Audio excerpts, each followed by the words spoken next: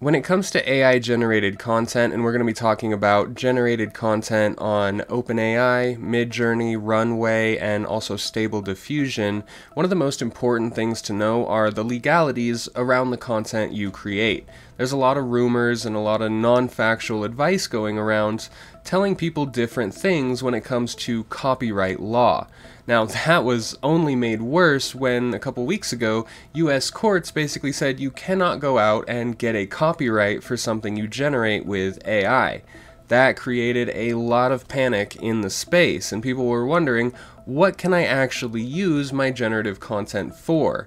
And a lot of that hearing was taken out of scope, and we're going to talk about that. It's true, you cannot go out and patent or trademark or seek a copyright for something you generate, but you do still own all of your assets. There are assets on all of these platforms that are still protected by the platform's terms of service themselves. So I went out and dug through a ton of different documents, all of the terms of service behind all of these different platforms, along with actually looking at those court rulings to see what can we really use for commercial purposes. We're going to start with OpenAI because OpenAI covers a few of these platforms. OpenAI is the owner behind ChatGPT, of course we know that, but it also owns DALL-E, DALL-E 2, and through external use of OpenAI's API key, the Microsoft Bing generator as well, because that's powered by DALL-E. So let's look at OpenAI. And if you want to look at this yourself, I'll link it down below. We're looking at section 3, paragraph A and B. Now, this right here, the first couple sentences are pretty much just defining input, output, and services. Whenever we hear the word services, because we're going to see this throughout the platform, just think of the platform we're talking about itself. So you may provide input to the the ChatGPT, you may provide input to the DALL-E. So just think of services as the service provided. Input and output are collectively called content. So when we hear content, that's just what we're giving it, what we're getting back. As between the parties and to the extent permitted by applicable law, you own all input, which means anything you put into OpenAI, any sort of text prompt or any image to be remixed, you own that content. And that was pretty clear, that's our content to begin with. Here's where it talks about output though. Subject to your compliance with these terms and all local laws, OpenAI hereby assigns to you all of its rights, titles, and interest in and to output. That means whatever you create with OpenAI or whatever you create with ChatGPT and DALL-E, you actually do own that output within the terms of service, which means you have to have a GPT Plus or a at least minimum basic paid OpenAI plan to actually own your content for commercial uses. This means you can use the content for any purpose, including commercial purposes such as sale or publication. We're talking about KDP books, we're talking about print on demand mugs and shirts, or even like Wirestock's selling your AI generated images. You have or you have the permission rather, to use that content for those purposes specifically when using OpenAI. So let's look at paragraph B, similarity of content, and we're just going to summate this really quickly. So due to the nature of machine learning, output may not be unique across users, and the services may generate the same or similar output for OpenAI or a third party. Third party, of course, referencing like Microsoft's Bing because that works off DALL-E, or an OpenAI API key.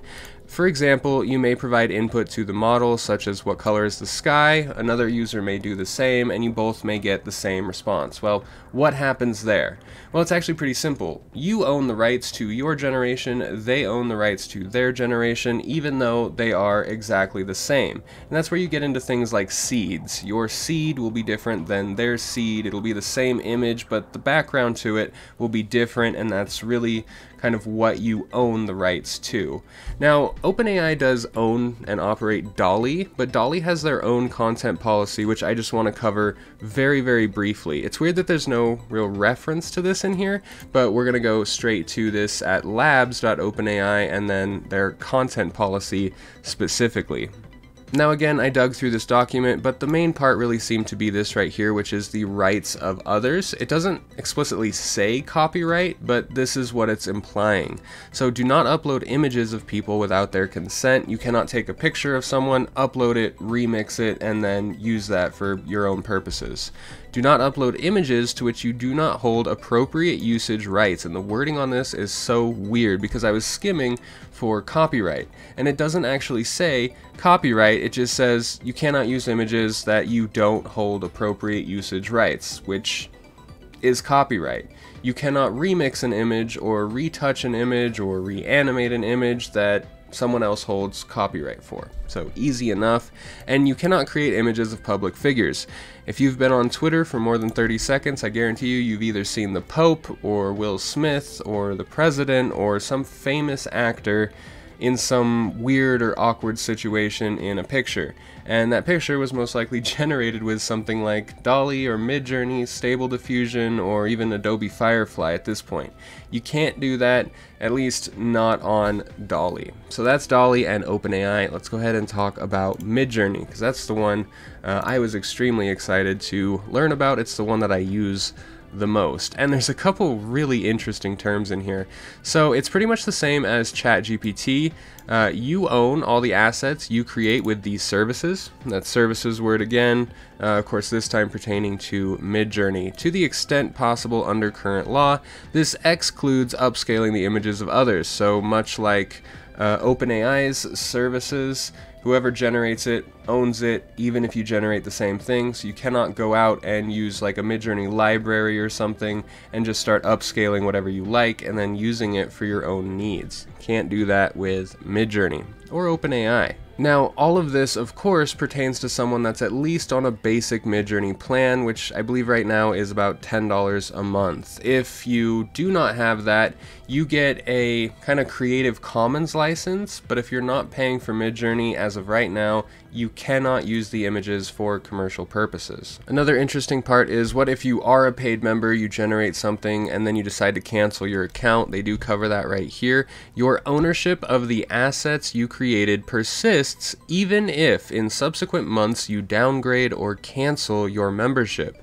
However, you do not own the assets if you fall under the exceptions below, and we're going to get into that now. So, you own all of your assets that you generated while you have a membership you downgrade or cancel your membership, you still own all the assets you generated while you were a paid member. This is a really interesting one. If you are an employee or owner of a company with more than 1 million USD a year in gross revenue and you are using the services on behalf of your employer, you must purchase a pro membership for every individual accessing the services on your behalf in order to own the assets you create. If you're not sure whether your use qualifies as on behalf of your employer, please assume that it does. So if you're a freelancer out there and you are making content, and this is really wide range because if you're a freelancer on Upwork and Fiverr, this may very well pertain to you without you even knowing it. So if you are an employee or owner, and that could be contracted work as well, of a company with more than a million USD a year in gross, you have to have a pro plan or you do not own the commercial rights to that. Instead, you fall under this section here, as well as if you are not a paid member, you don't own the assets you create. Instead, Midjourney grants you a license to the assets under Creative Commons non commercial attribution. This license does not let you use it for commercial purposes, which a lot of people are doing right now without even knowing it. Now, the last one, which is runway, is actually very straightforward. It's in this long paragraph, but it basically says that when you are a registered user, when you post or publish your content on company properties, which when you generate something with runway, it gets posted into your portfolio, uh, you represent that you own and or have a royalty-free perpetual, irrevocable, worldwide, non exclusive right and license to use, license, reproduce, modify, adapt, publish, translate, and create derivative works from. You also own the license to distribute that as well. So it's basically saying that when you upload something to Runway, you are actually already agreeing to these terms that you own the content you're uploading to modify. So the runway generations, you will own your generation or animation as long as the original file you use to remix doesn't follow or doesn't fall rather under any copyright law or any current copyright holders. So Runway is actually pretty straightforward. Um, the interesting part about this though, and instead of services we're using uh, company properties, that's the wording they use, uh, when you create something, you agree that the company and its suppliers own all rights, title, and interest in the properties. You will not remove, alter, or obscure any copyright, trademark, or service mark, which means if you're not on a paid plan, there is a watermark. And I think that's what this is getting at because it will be a runway kind of watermark on it and you're actually also agreeing that you will not remove, alter, or obscure that. So in a roundabout way, you do need to have a paid plan with Runway to use it for commercial purposes. So I hope that helped.